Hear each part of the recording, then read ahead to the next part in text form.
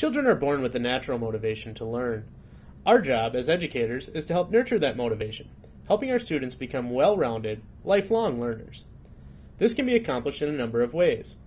As Dan Pink describes in his book Drive, people are motivated for three reasons autonomy, mastery, and purpose. So, how can we help nurture the motivation within our students? As a teacher, I introduce myself to the class as a lead learner and on a daily basis share something I have learned in the last 24 hours. In my classroom, I allow my students 20% time. During this time, students learn something of their choice and share with the class and the world. We share through websites which they create, blogs, videos, or other creative presentation methods which they choose.